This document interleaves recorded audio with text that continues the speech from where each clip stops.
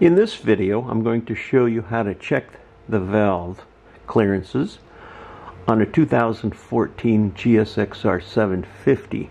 Uh, as you can see, I do have the uh, motor removed from the frame as I'm replacing the frame. But you don't have to do that. You can uh, check the valve clearances and even set the valve clearances while the motor is still in the frame. So I'm just going to show you how to do it with the motor out of the frame. The first step, we have to remove this cover right here. We can rotate the, the crankshaft to position the cams in the proper position so we can check the valve clearances of both the intake and exhaust valves. So first we're going to remove the cap. This is an 8 millimeter hex head wrench.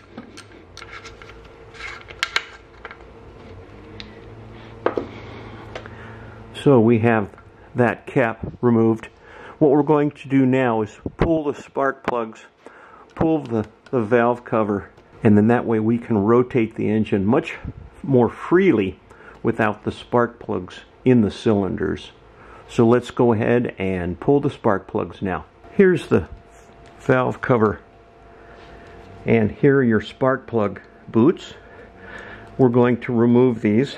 The left hand side of the engine is one, two, three, and four. That's your cylinder order and your spark plug order. I have a paint marker and make sure we get these spark plug boots back in the same position. I'm going to mark these one, two, three, and four. So we put them back in the same order. My yellow paint marker was dead, so I had to get a green one. So we have one, two, three, and four marked. So now how do we get the uh, spark plug boots off of the spark plugs? You very gently lift. There's a little seal there. And as you see, if we release that seal, you can now pull the spark plug boots off of the spark plugs. We'll put these boots off to the side.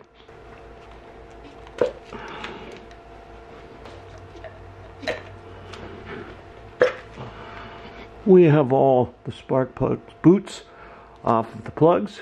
Now we can pull the spark plugs out and I'm going to replace with new spark plugs so we really don't have to be concerned about the order. I have a 16 millimeter deep socket on a long extension. Let's go ahead and pull those plugs out.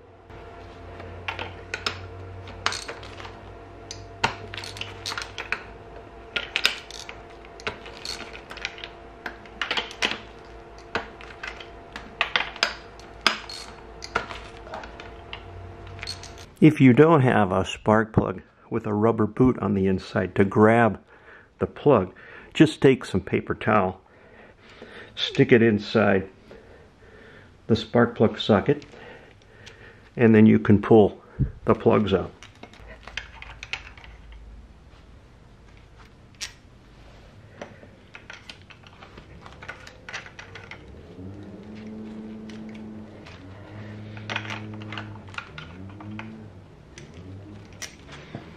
Have the spark plugs out now. Let's go ahead and pull the uh, valve cover now. Now we're going to re remove the, uh, the valve cover itself. And notice there's one, two, three, four, five, six hex head bolts in the valve cover. This is a six millimeter hex head socket. So we're going to loosen these.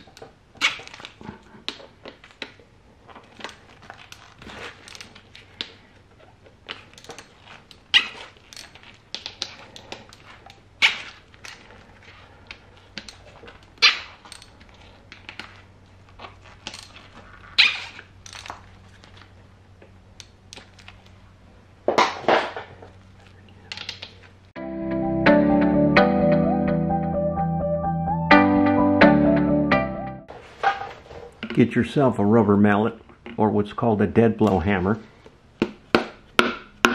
And we're going to lightly tap. Don't pry on this. You'll damage the seal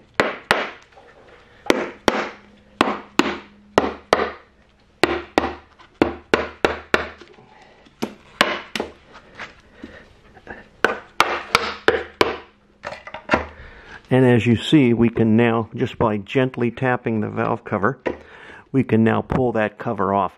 And there's a gasket underneath there. We don't want to uh, damage that gasket. Technically, you're supposed to put a brand new gasket and a new O-rings and new cam seals on there. We'll see how they're looking. We'll probably have to order new ones. If not, we'll uh, use the old ones. But chances are it's always a good idea to replace them with new gaskets.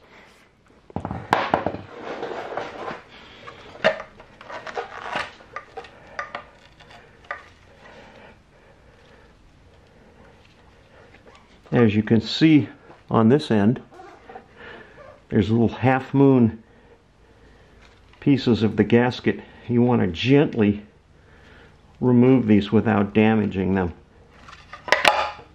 I'm going to take a screwdriver and very careful not pry on any metal surfaces. We're just going to push up on the gasket gently.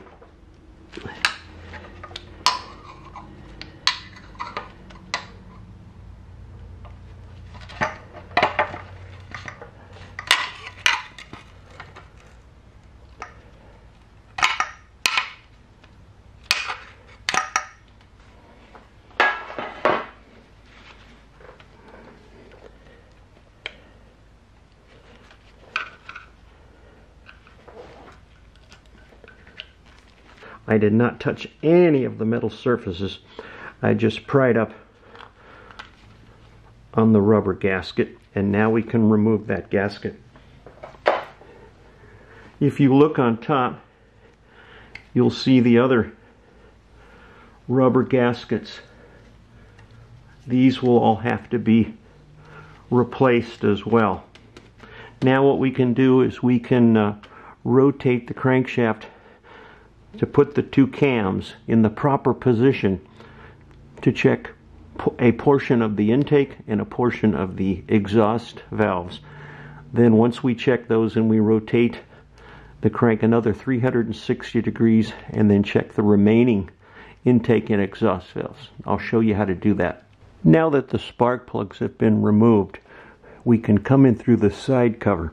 There's a bolt in here and there's a little pin and there's a line on that gear. What we're going to do, this is a 14 millimeter socket, and we're going to rotate the engine clockwise. And we're going to line up that line with this little pin. After we get it lined up, I'll move the camera in so you can see that.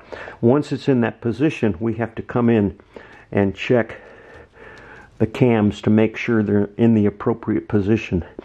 If it isn't, then we have to rotate another 360 degrees. And I'll show you what those cam positions are supposed to look like.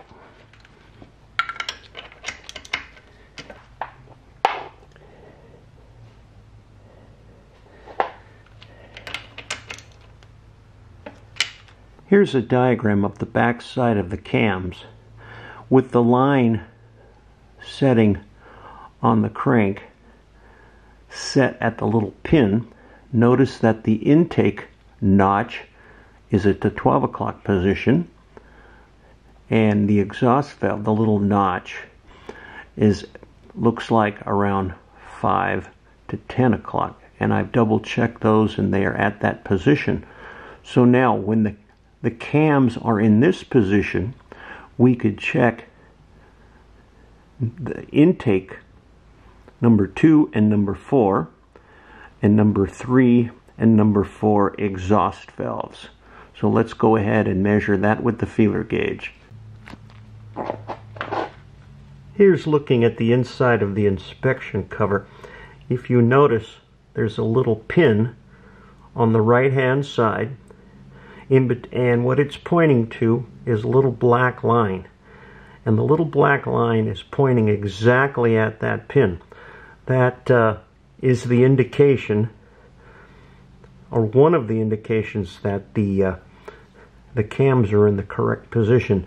The other indication is the two intake and exhaust valve notches that I show you in the previous diagram. Those are now set. What we'll do is we'll rotate all the way, after we measure the, the valve clearance, we're going to then go all the way around, check the others, and then we're going to double check both intake and exhaust again to make sure that they're right. So let's go ahead and measure those. with the crank in the present position, we're supposed to be able to check number two and number four uh, valves. So this is one, this is two, this is three, and this is four. So we're going to check two and four on the intake side and three and four on the exhaust side. Let's get our feeler gauge. Okay, the specs for the intake valves are 0.08 millimeters to 0.18 millimeters.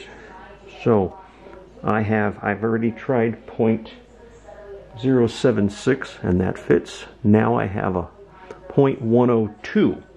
So I'm going to check 2 and that fits very nicely. Snug, so we have 2 and 4. So 0.102 fits nicely. So now we have, the next up is 0.127. Okay, so let's go ahead and try that now. 0.127 will not go in. So again, the maximum or the, the range of the intake valves is 0.08 millimeters to 0.18 millimeters. So 0.102 fit and 0.127 did not fit. So that means on the intake valve of 2 and 4 on this side, the measurements are within spec.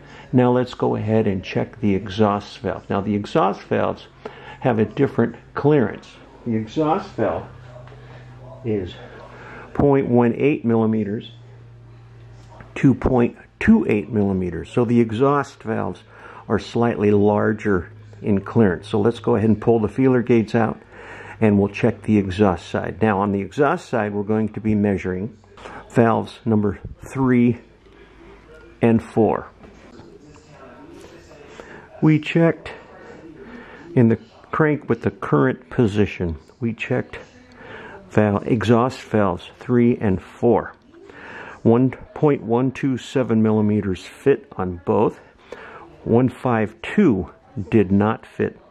Again, the clearances on the exhaust valve is 0.18 millimeter to 0.28 millimeter. So three and four exhaust valves are, too tight. So we're going to have to make a notation of that and we're going to have to purchase some shims and uh, redo the shims on uh, three and four of the exhaust valves. Now let's rotate the engine 360 degrees and we'll check the other sets of intake and exhaust valves.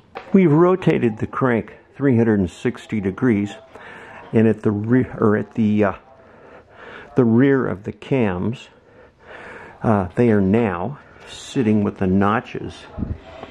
At intake is 6 o'clock. Exhaust is 8 o'clock. I've double checked that. Now we can check 1 and 3 valves on the intake and 1 and 2 on the exhaust. Let's go ahead and measure those. Okay, we've checked all the intake and exhaust clearances and we're going to do two passes on this so we make sure that we don't make any mistakes. Uh, the intakes of the valves number 2 and 4 are 0.102, they're within spec. Unfortunately, the exhausts of 3 and 4 valves are 0.127. That's under spec, uh, too tight. So the minimum is 0.18 on those. And we, we rotate uh, the crank 360 degrees and then we measure the intakes of valves 1 and 3. Uh, 0.076 is too tight. Uh, 127 is fine on intake valve number uh, 3. And unfortunately, again, the exhaust 1 and 2 valve is 0.152. Again, that's, that's uh, too tight. A minimum uh, clearance on the exhaust valves are uh, 0.18. So what we're going to do now is we're going to rotate uh, the crank 360 degrees and then we're going to do a second pass measurement uh, on two and four and one and three, and then we'll rotate another 360s and then do a three and four, uh, or a one and three and one and two. So we're going to do two passes on the valves to make sure that we don't make any mistakes. So uh, let's rotate the crank again and take another set of measurements. We went and did a second pass and uh, on intake valves 2 and 4 the measurements were the same with the first pass of 0.102 millimeters. Uh, the exhaust actually a good thing that we we did I always recommend doing a second pass uh, exhaust 3 and 4 valves. Originally I got 127 now I got 152 so again it's always a good idea to do a second pass. But again this is still too tight. Minimum is supposed to be 0.18 then we got the same measurement on the after rotating 360 degrees on the crank. Intakes 1 and 3 were the same as the first pass uh, 0.076 and 0.127 so intake is too tight and on number one, an intake is um, just right or okay within spec on intake three. Uh, on the exhaust, one and two, same as the first pass, 0.152 for both in, uh, exhausts, one and two. Again, the minimum is 0.18, so these are too tight. So after doing two passes on uh, the valve clearance uh, checking, uh, we're going to have to uh, pull the cams and uh, pull the uh, the lifters and then we're going to uh, measure the shims and then order some shims based on our measurements. So uh, let's go ahead and start pulling the cams